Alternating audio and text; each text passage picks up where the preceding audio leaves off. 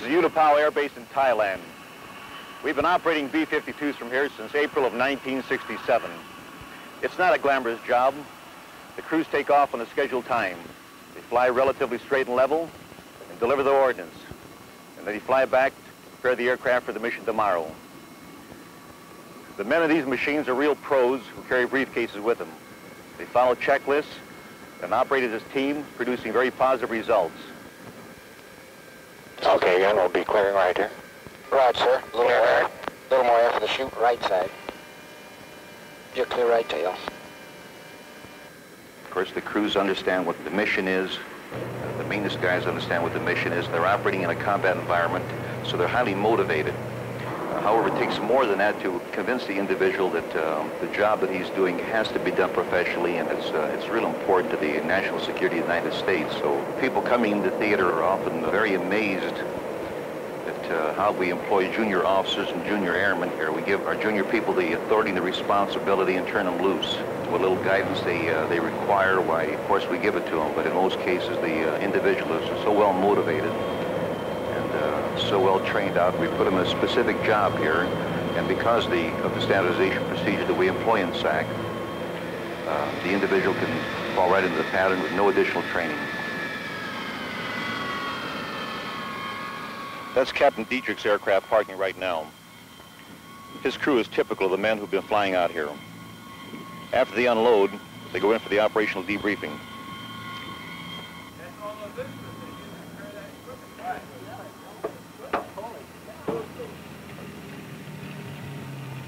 Oh, here you go, bud.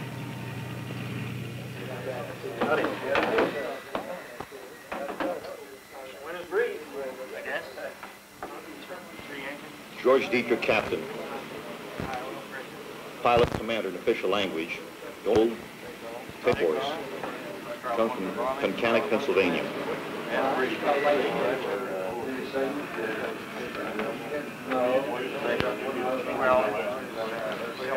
The number two man is Dick Stone.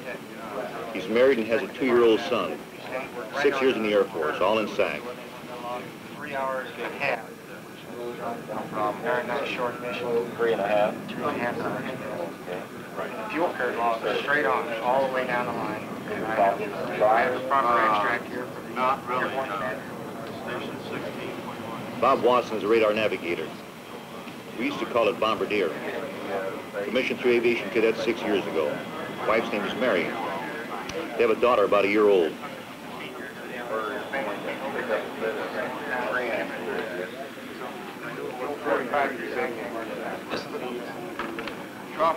This is the navigator, First Lieutenant Stephen Selig. He's 25. Comes from Laconia, New Hampshire. No children yet. He has a degree in history from Syracuse.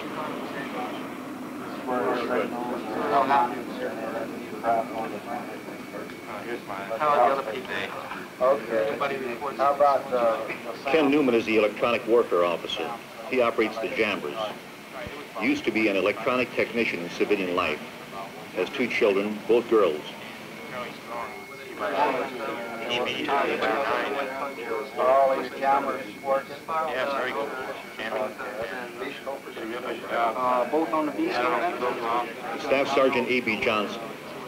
At 32, he's the old man on the crew. Majored in veterinary medicine at Tuskegee.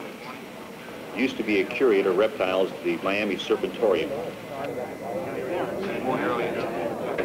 It's very important that we recognize uh, how the crew members and the individuals feel, and I think I've got a reasonably good feel on what the reaction of most of the individuals are to our participation in this uh, this conflict over here. Uh, you couldn't ask for a better, better artillery than the B-52. You can never see a bomb going up, but you can see the uh, smoke and dust coming up through the top of the foliage. Then right about the middle of the bomb train comes this great big white billows cloud, and it just comes streaming up. It's about four times the size of everything else. And the things will go out underneath the foliage, and uh, you'll never even see the explosion. looked like the whole target area looked like a dead rat shaking from It just sat there, just trembled. Yeah. And you can see the bombs walking out the other side of it again. Well, there was no fire or smoke associated with it, and it, it would uh, have to be something buried that uh, didn't come to the surface. That's where the real satisfaction comes from, though, on these missions, is where you go out and you can see the ground, and you get secondary. And we very seldom hear what happens on some of these, uh, this Operation Grass Hill or a couple of other big drives that they pulled off. How much did we actually contribute to the operation of the You kind of, like you see, you're very, you're, you're, you're in it, but you're remote. I think uh, once after you gain the, the confidence of the people in the wing, I, uh, it's a very simple matter to be able to talk to these individuals, whether they're the flight crews, staff officers, um, particularly the maintenance and support guys. They're typical American guys They're highly motivated, uh, have the drive and desire to, uh, to be professionals.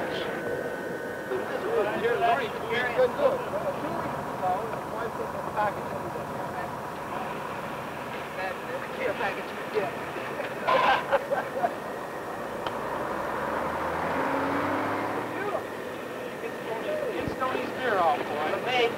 hey, Vince, just think you guys get a break here in about a couple weeks. Yeah, you got here to sleep all the way home. Hey, yeah, think about that. Hey, 22 hours of jammer coming up.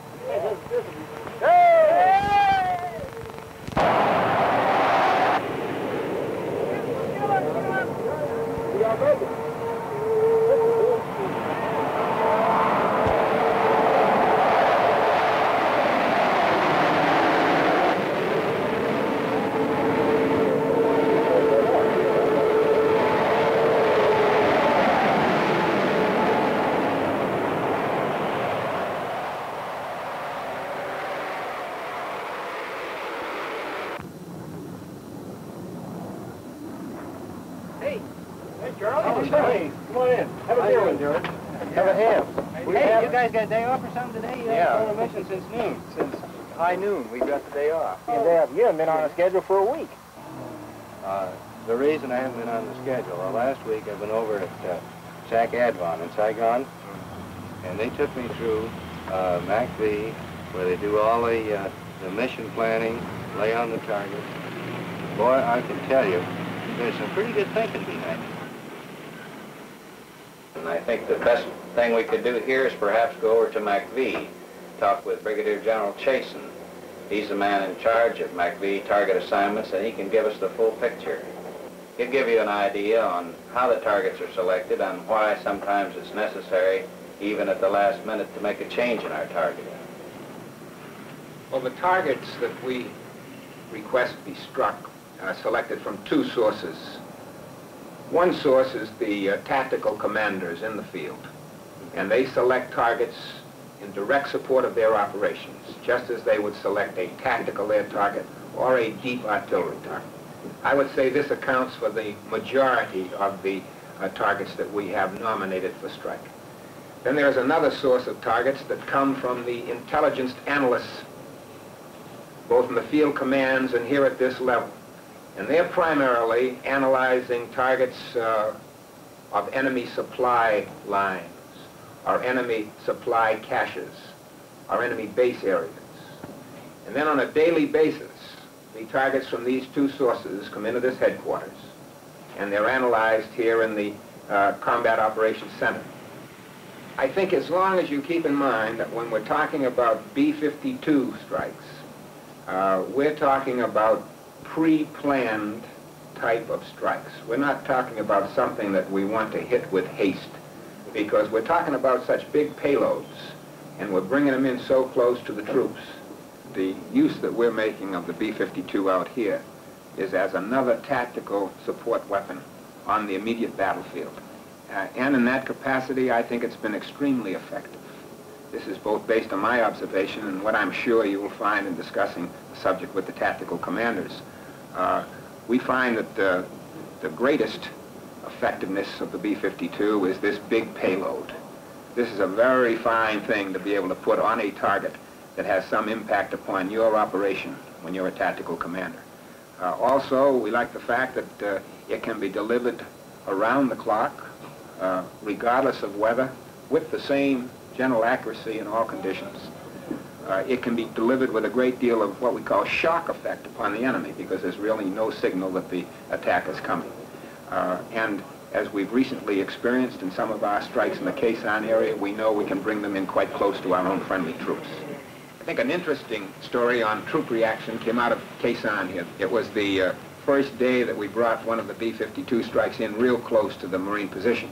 And uh, one would have thought the Marines would have been probably down in their dugouts uh, staying out of the way. Uh, but the story is that they were all standing up on top of the bunkers, cheering as the B-52s were being uh, delivered outside of their position. I think this attests to the fact that they're very pleased with the effectiveness. And I'd suggest that if you're wanting to get some more on this, that you should go out and talk to some of the troop commanders and some of the troops themselves. And I think you'd get a very clear insight as to the effectiveness of this weapons. General Peers, uh, as commander of the 1st Field Force, what has been your association? Well, my job primarily with B-52 is to establish a priority. First thing you know, on this that you have to recognize is that a B-52 strike is a priceless commodity.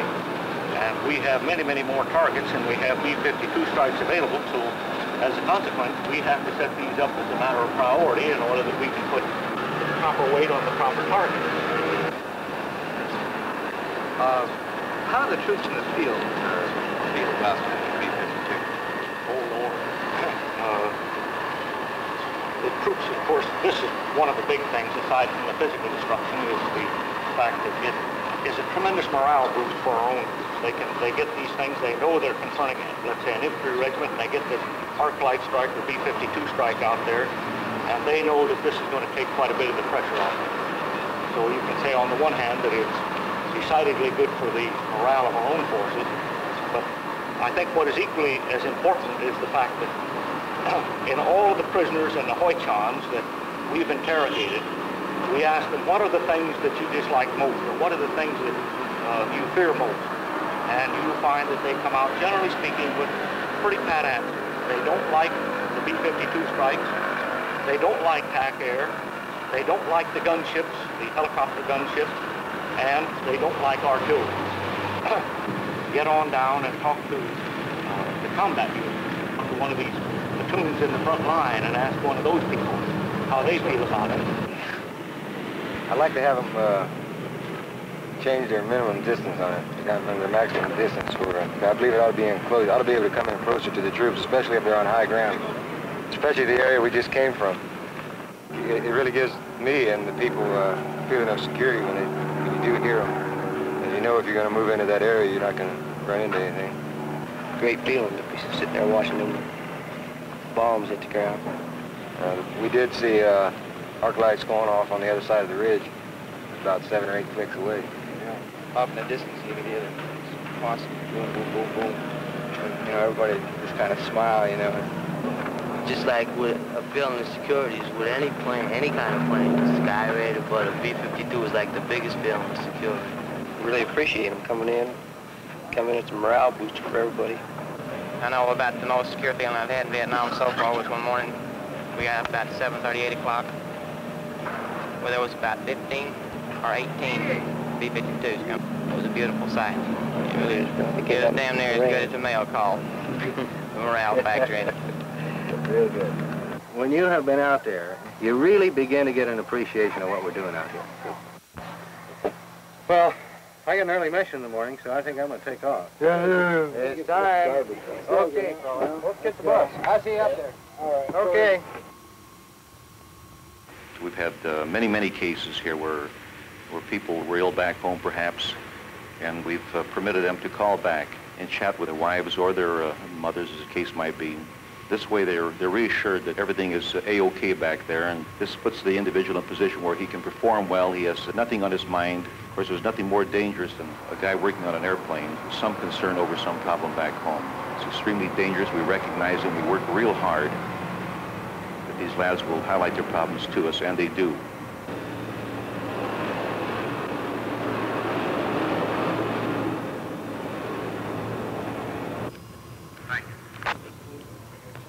Okay, well, let's go. Control, Sam. Go ahead, Tom. Roger, Control. 100 is out of the ball game. My hip pocket spare is 604. Give me a reading, please. Roger. We'll take aircraft 604. Uh, how's the refuel coming? Depressurize. Now on, Bob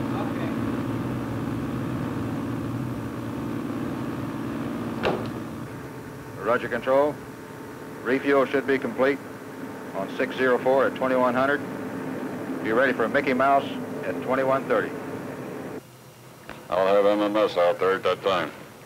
Roger, this is turning around aircraft now.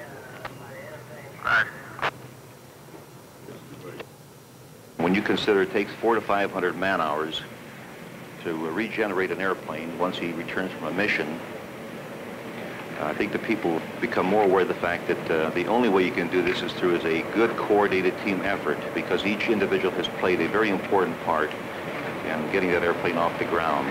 We have a very sophisticated radar bombing navigation system.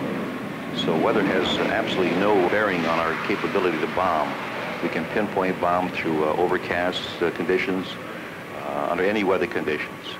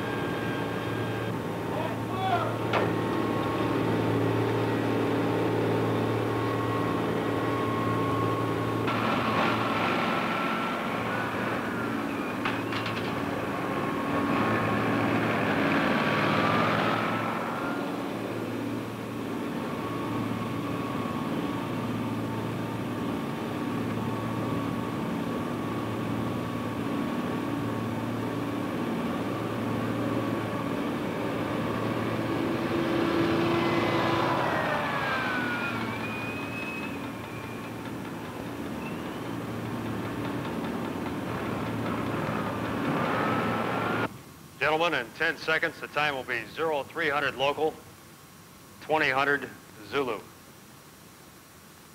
Five, four, three, two, one, hack. Colonel Vickery, gentlemen, Captain Wright briefing the Able 88 mission. The classification of this briefing is secret. The airborne commander is Colonel Moore. The room is secure. The takeoff time for the first cell is 0500 local. Roll call. Major Lund.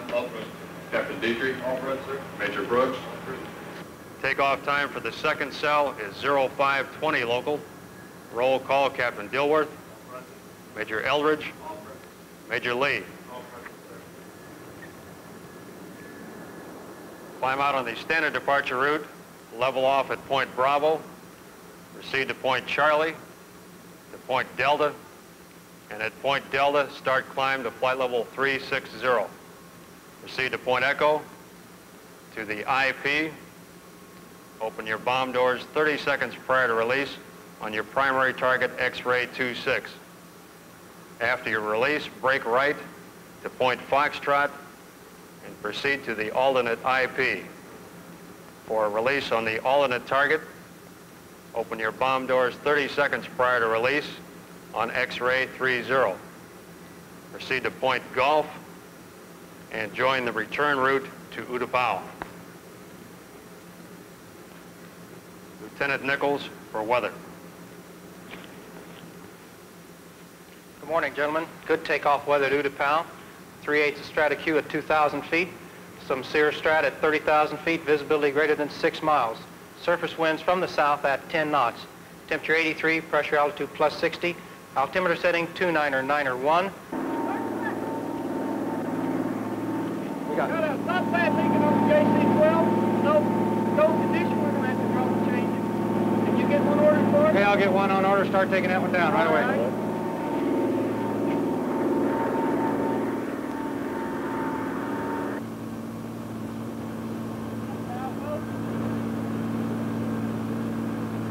Roger control, we have a JFC 12 change on 604. Report has been ordered by OMS 12, control number 081. Sergeant Lemons for intelligence. Your primary target is against the Khe Sanh area where there is a large confirmed troop concentration buildup in storage area. Down to the south, your alternate target is against troop concentrations between Pleiku and Kontum. Also confirmed that a large Viet Cong force is moving in from Laos. Intelligence, ground action for yesterday in the 1st Corps, the target area.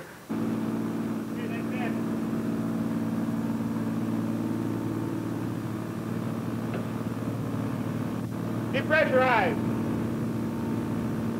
Control, OM-10. Roger, control, 604 is N, N, N across the board. Complete at 0250.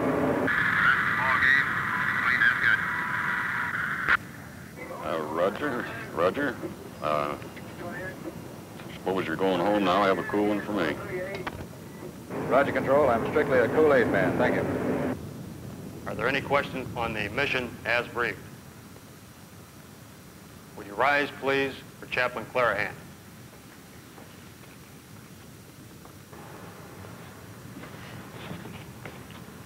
Let us pray. Almighty God, our Father, bless these crews, the leaders they follow, the men who support them. Help them to be the men you want them to be. Keep them safe from all harm, and let what they do today bring a better tomorrow. Bless their families and loved ones. Give to them the same peace and security that these men try to bring to the world today. Amen.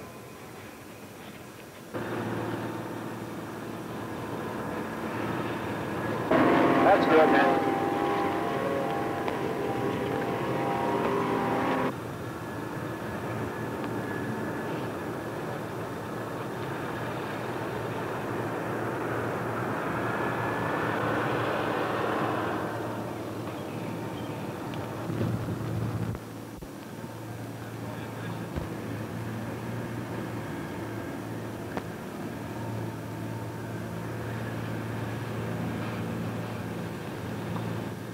specific model of B-52 that we're using in this theater is the B-52D.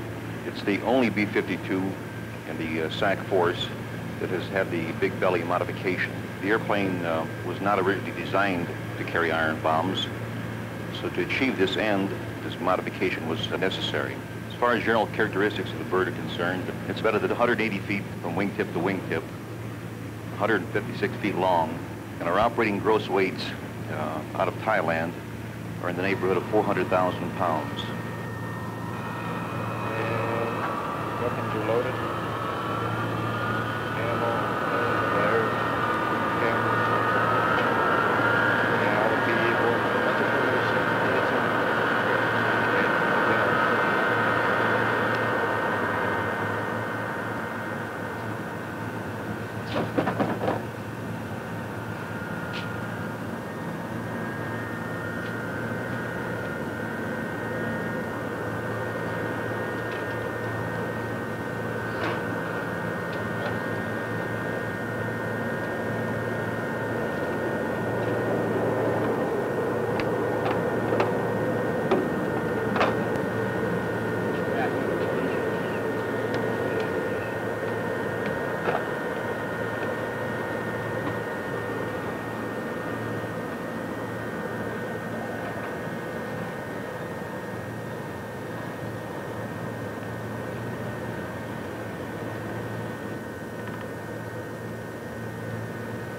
Okay, radios. You're on, pilot. On, co-pilot. Warning and indicator lights. 3101, taxi runway 361330 degrees at 6, altitude or 2900 under zero. Air Preston test pilot. Warning and indicator lights. Preston co-pilot. Firewall switches. Engine check pilot. In a check co-pilot. is on. Navigation lights are bright and flash. Ground connected clear the bomb doors. Bomb doors connected clear, sir. Frequency improved.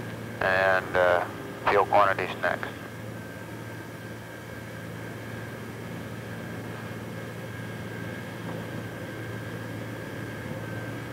And our check co-pilot altimeter is 2990. Elevation error 50 feet. Okay, pilot 2990, I have a correction of plus one. 2990, zero correction, co-pilot.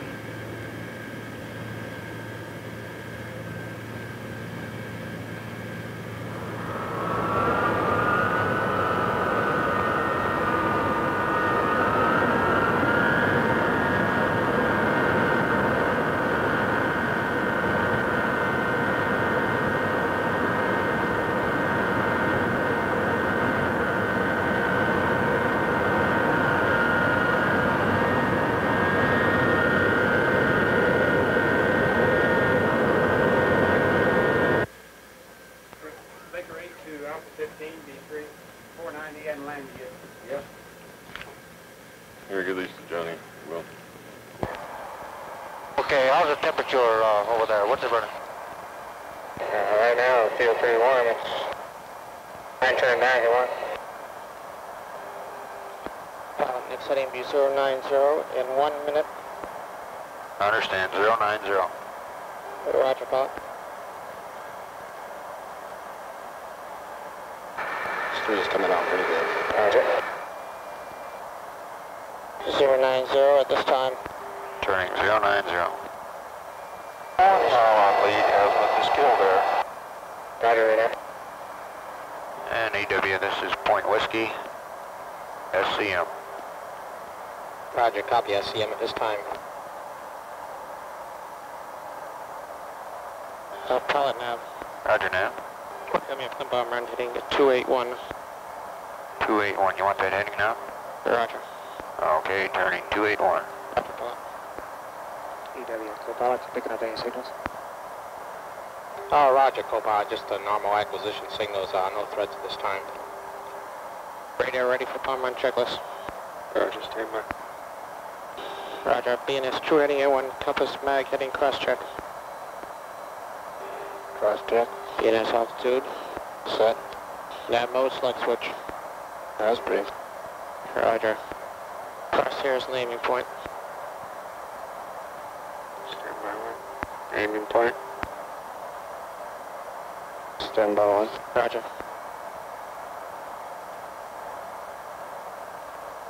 One, eh? Roger. Checking. Number one. Looks good. Let's go go back two. Roger. Okay, set. Roger, officer switches as desired. As desired. Your primary control function switch, bomb. Bomb. Pilot, what direction is PDI pointing? Uh, it's about 6 left, Major center, please. centering PDI. Primary control function switch, bomb. Going bomb now. In bomb. Roger. Release configuration check. You ready for it? Roger, go ahead. Roger, release circuit disconnect. Connected light on. Bomb indicator light switch. It's on. PDI center. Roger, pilot. Racks loaded light switch. On. Master bomb control switch. It's on. Release power switch. It's on. Bomb door control valve lights are off. Roger, checked out. Bombing system switch manual. Manual. Bomb doors open at 30 TG. Coming up on 30 TG. 30 TGs. Roger. Yeah, engineer coming up. Roger. Doors checked open. Roger, that completes the checklist. Ready, ready, now. Doors open. Roger, standing by release. PDI center. Roger. Coming up on southbound, 060 now. Release. Emergency bomb door open switch. Off. Bomb doors. Closed. Master bomb control switch. Off. Train display mode selector switch. As brief. Train computer power switch. As brief. Access switch. On. Altitude disable switch. Normal. Nav mode select switch. As desired. Radar camera switches. As required. Vertical camera doors. Closed. Landing gear standby pumps off. Pilot and applicable hydraulic packs shut down. They're off and checking. Monitoring system select switch. Standby. Internal brick. Trainer zero. External brick. Trainer zero.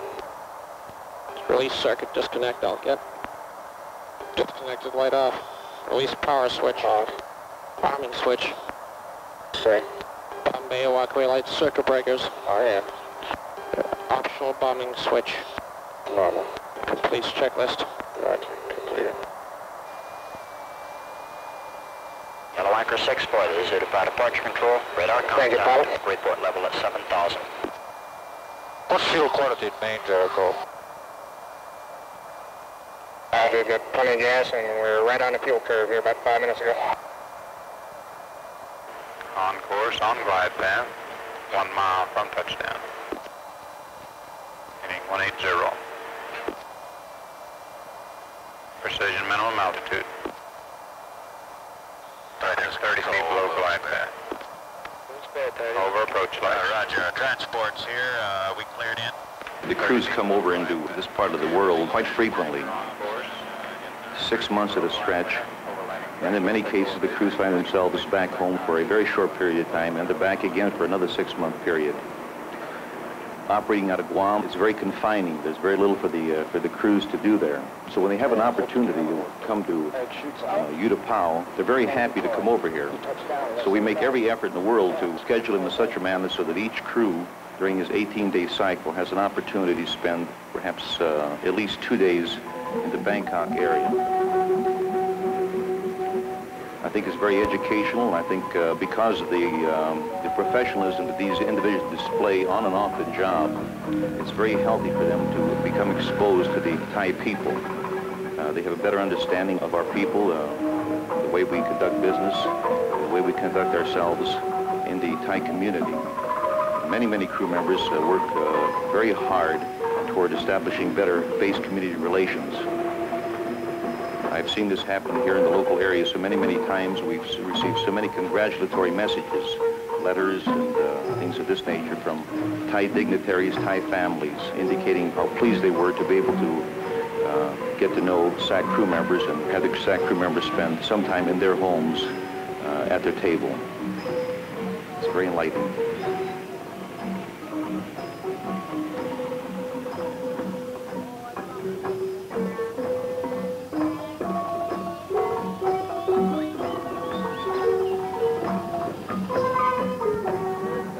Jazz places in town. Yeah. And A minute to go. Boy, they got everything. That's everything. Everything.